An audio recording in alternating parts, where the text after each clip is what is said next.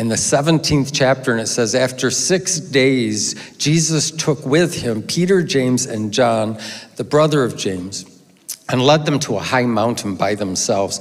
And there he was transfigured before them. His face shone like the sun, and his clothes became as white as light. And just then there appeared before them Moses and Elijah talking with Jesus. Peter said to Jesus, Lord, it is good for us to be here. If you wish, I will put up three shelters one for you, one for Moses, and one for Elijah. And while he was still speaking, a bright cloud covered them, and a voice from the cloud said, This is my son whom I love. With him I am well pleased. Listen to him. And when the disciples heard this, they fell face down to the ground, terrified. But Jesus came and touched them. Get up, he said. Don't be afraid. When they looked up, they saw no one except Jesus. And as they were coming down the mountain, Jesus instructed them Don't tell anyone what you have seen until the Son of Man has been raised from the dead. Sounds like a science fiction movie. And for people who struggle with belief that something can happen they've never experienced or seen for themselves, this can be something of a stumbling block. How can you believe things like this happen in our world? But if you've lived for very long, you know that truth is often stranger than fiction. And there's some very important truths to draw out of this interaction that the disciples had with Jesus in this moment. Jesus had just in the previous chapter explained to his disciples that he was going to embrace a cross, he was going to suffer and die, and that he would be raised again. And if you remember, he also told them, if you're going to follow me, you need to learn how to deny yourselves and take up your own cross and follow me. And he's just announced that that's the path that he is on. And, and now the, he takes them up to this mountaintop. And while he's there, he's surrounded by God's glory. Jesus had previously rejected false glory in the temptations. There are some people, when you think about it, the temptations were about the stuff you get as a result of glory. Like if you are a famous artist, there's a lot of things that come your way in life. If you're a famous athlete, you get all kinds of contracts. You live in the very best houses. You, you have more than one. If you're a famous actor, if, if you're a famous scientist, like all of these things, things come. And a lot of people want the fame so they can get the stuff. And so that was the temptation that, that Satan provided to Jesus. If you, if you, you can have the stuff, like this is a shortcut.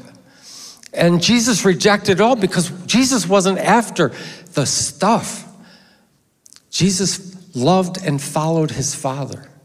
And that's what he wanted.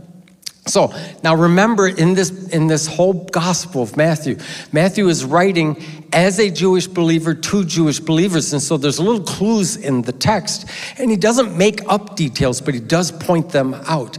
And so he tells us, uh, we also know in Exodus chapter 24 that Moses actually, before he went up the mountain where he's going to be to meet with God, that he took three companions with him. And look, Jesus is going up the mountain. And then he was addressed by God out of a cloud. And look, Jesus is being addressed by God out of a cloud. And after that experience, according to Exodus, the 34th chapter, Moses' face actually shines. And look, Jesus' face is shining. A shining face, shining clothes, uh, filled with light, a bright cloud. What is Matthew trying to tell us? And what he's trying to tell us is Jesus is the light of the world. That's who he is. Jesus is the expression of God. Now, we know this from other places in Scripture. For example, the author of Hebrews said this In the past, God spoke to our ancestors through the prophets at many times and in various ways. But in these last days, He has spoken to us by His Son, whom He appointed heir of all things, and through whom also He made the universe. The Son listen to this, is the radiance of God's glory and the exact representation of his being. Now, in biblical history, when God's glory was demonstrated, when it was observable, it was too much for people. And it wasn't because that, that the glory was bad. In fact, glory kind of has a, a, dual meaning. One has to do with light and the other has to do with weight. And, and the glory of God has a sense of significance about it. And so it, it's not as though when God's glory came on, it was a punishment to people who were there. It's just that their bodies couldn't hold up. For example, if you were to go out today, how many are glad we have sunshine? How many wasn't sure what that large glowing yellow object was in the sky? Okay. But we've got sunshine. And if you stared right into the sun for a long time, do you know what would happen? You would damage your optical nerves. And it's not because the sun is bad. It's because our eyes are not adequate to take that kind of brilliance in. The sun is the source of life on our planet but our eyes are inadequate to look at it for a long time. Now, a couple weeks ago, we looked at Peter's confession of who Jesus was. Now we're going to see God's confession of who Jesus is. And what does he say? This is my son, whom I loved. With him I am well pleased. What is he saying? There's more to Jesus than meets the eye. And this is important Jesus is not just the light of the world He's also the light of Scripture, He's the light of the Word. Uh, if you've been around faith communities very long, you will know that so, there are differences of opinion on lots of things. How many have noticed that, right? Uh, how do you baptize? Well, there's not complete agreement on that. How do you have communion? Not complete agreement about that. What kind of songs do you worship? Not complete agreement about that. What kind of instruments are you allowed to use? Not complete agreement about that. Who gets to stand up in the front of the room? Not complete agreement about that. Like there's lots of ways. And so everybody claims to have some authority, right? But what, what God is telling us is that Jesus is the final authority. So, why does that matter? Because He is the way. Let me put it this way Scripture points to Jesus, all the Old Testament points to Him. But Jesus is also the way to interpret the Scripture. That when we try to understand, particularly the Old Testament, without the lens of Jesus Christ, we often misunderstand and we make mistakes and we misuse God's Word. And so sometimes there are people who will find a passage in God's word and they get very passionate about it. And sometimes their language can be a little bit hostile and they come out and they're absolutely sure that they're right. But the question should be how should we see that passage through the lens of Jesus? Because, for example, let's say you perceive someone as your enemy. Maybe they're on a different side of the political aisle. Maybe they're a different gender from you. Maybe they're a different ethnicity from you you. Maybe they're a different education from you. Maybe they have more or less than you. Whatever it is, we have all kinds of reasons that we see people differently, and we could assume that they are an enemy of us. And you could find a passage in the Old Testament where God did something with enemies and go, that's it, that's it, that's it, that's what I've got the right to do that. It's in the Bible, it's right here. But what does Jesus say about enemies? Love your enemies. Very different thing.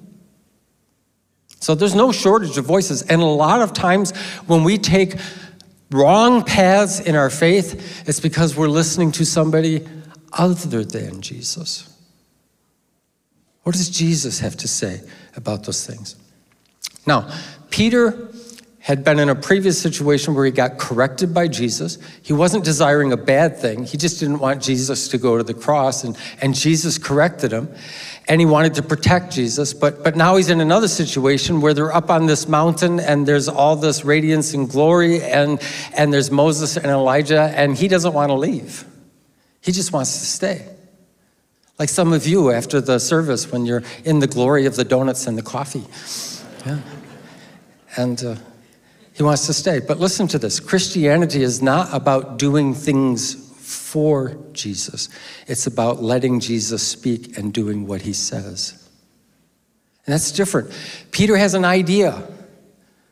Well, let's build three shelters, three tents. Let's make this a camp out. Let's stay a long time.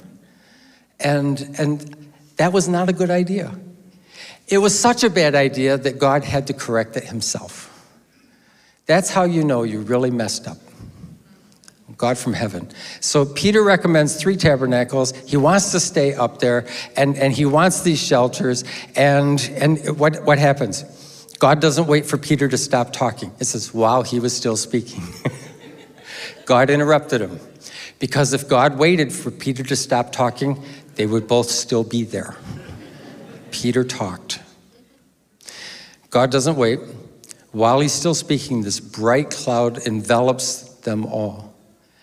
And God says, This is my son, whom I love. In him I am well pleased. Listen to him. Now, this cloud has been seen before in the Old Testament. For example, in Exodus chapter 40, and the wanderings of Israel coming out of bondage in Egypt and all the way to the promised land, there was this bright cloud that led them when they were uh, when it was time for them to move in the wilderness. It was a bright cloud by day and it was a pillar of fire by night. And even in 1 Kings chapter 8, when they built the first temple, what we see is that there, the cloud, the, the, this bright glory of God fills the temple. And the result is that the priests can't continue doing their ministry. They actually flee the facility because it's so great and it's so glorious. And now a bright cloud envelops Jesus and Moses and Elijah and the disciples. And in the Gospels, we know that God only speaks out loud audibly twice once at Jesus' baptism and once here. And both times he says the exact same thing. Why does he do that? Because he's wanting us to know the most important thing about Jesus. He wants, he wants us to know who Jesus is to him so that Jesus can be that to us. That's what he wants. Listen to him. God directs complete attention to Jesus. So here's a little um, piece of advice. If you want to hear God, listen to Jesus. Listen to Jesus. Now, Jesus doesn't replace the Father, he actually reveals the Father. And Moses represents the law. Elijah represents the prophets. Uh, Moses was considered the lawgiver and the most uh, powerful person in the Old Testament. And Elijah was considered the greatest of the prophets. And so Peter, James, and John, they represent the law and the prophets, and Peter, James, and John represents church leadership. And what does God say to the law and to the prophets and to the leaders of the church? Listen to him. Jesus is the key to interpreting Scripture. Jesus never degrades Scripture, he never denies Scripture, but he does see it differently than other people. And so we need to listen to Jesus to know how to understand Scripture. When the church gets off track, it's usually because we're listening to somebody other than Jesus. So Moses actually foretold that Jesus would come. You can find this in Deuteronomy 18. He said, The Lord your God will raise up for you a prophet like me from among you, from your fellow Israelites. You must listen to him. Why is this important? Because when we listen to Jesus, we come down the mountain and into our world. When we listen to Jesus, Peter wanted to stay. God says, listen to him. And now they're going to come down the mountain. In the Old Testament, that bright cloud of glory, of God's glory, when it came down, it absolutely terrified people.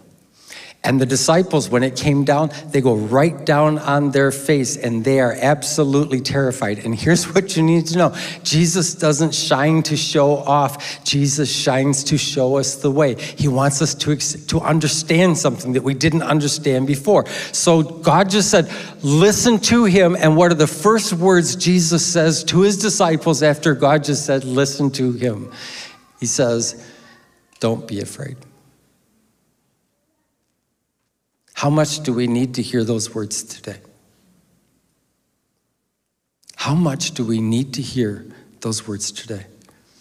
And when they looked up, only Jesus was left. In this passage, we see something about how Jesus thinks about this glory and this authority and this power. And he tells his disciples this He tells them, Don't mention this to anybody until after my death and resurrection. And Matthew, Mark, and Luke all include this story in their Gospels. Now, something interesting happens. In Matthew 17, it says the disciples asked him, so they're, they're going down the mountain now, and the disciples ask him, Why then do the teachers of the law say that Elijah must come first? And Jesus replied, To be sure, Elijah comes and will restore all things, but I tell you, Elijah has already come and they did not recognize him, but have done to him everything they wished. In the same way, the Son of Man, that's how Jesus refers to himself, is going to suffer at their hands. Then the disciples understood that he was talking to them about John the Baptist. So Jesus are coming down the mountain with the disciples, and the disciples have a question, and they ask the right person. That's a really good thing.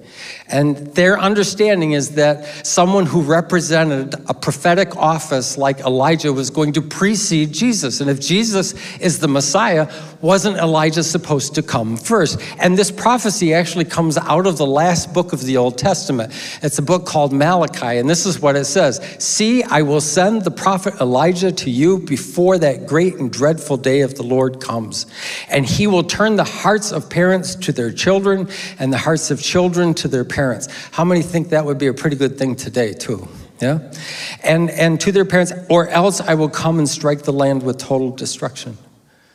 The disciples are asking their questions to the right person, and Jesus says, To be sure, he comes and sets all things right. So the question is, how did he do that? How did Elijah, being represented by John the Baptist, set all things right? And the answer was he pointed to Jesus. When Jesus comes for baptism, he says these words Behold the Lamb of God who takes away the sins of the world. In the Jewish faith, if you had committed a sin and you wanted to be at peace with God, you would bring a lamb into the worship space, and that lamb would be sacrificed. And what would happen is that your sin would go onto the lamb and then the Lamb would pay the price for your sin, and you could walk away at peace with God. And what John the Baptist says is this is the Lamb who will be sacrificed, and all the sins of the world will come on him, so that all of us can be at peace with God. Isn't that a wonderful thing? To be at peace with God. How, how many are also glad you didn't have to bring an animal in here this morning? Yeah unless, of course, you did. Um, so he, he points everyone to Jesus. Um, and Jesus said, They didn't recognize John, and they won't recognize me. And the question is, why won't they recognize either one of them? And it's because people have preconceived ideas about how prophecy is going to be fulfilled. John suffered, and Jesus is going to suffer. And in our world, if you're suffering, you're not considered important. You're not considered credible. You're not listened to. And so they missed what John the Baptist was doing. And many people have missed what Jesus was doing. And he's, he's, he's briefly seen here for a minute. Has anybody uh, seen some of the images of the Webb telescope? They are stunning. I can't believe how phenomenal those images are. They, I mean, if you, if you haven't seen any, just when you, you go home, Google Webb telescope images, and they're absolutely stunning. There, there is a kind of artistry and beauty in our universe I had no idea existed. And here's what's true if you went up there in some kind of miraculous little spacesuit and you were standing right next to where the Hubble telescope, or floating right next to where the Hubble telescope, or not the Hubble, the Webb telescope is, and you were looking, you wouldn't see what that telescope sees because the bandwidth, of the light waves we are able to see are limited in our human vision. And the Webb telescope can see a lot more. And then what it's doing is it's seeing those light waves and then it's translating and giving us light waves that we can see to show it how it looks if we could see beyond that. And this is what's happening on the Mount of Transfiguration. The disciples' eyes are being opened and they're seeing Jesus for who he really is.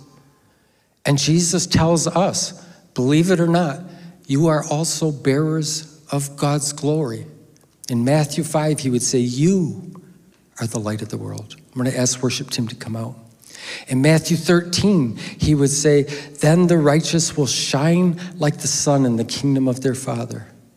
Whoever has ears to hear, let them hear. You are also a light. You are also a bearer of God's glory. And maybe you don't even recognize that in yourself because people didn't recognize it in John or in Jesus.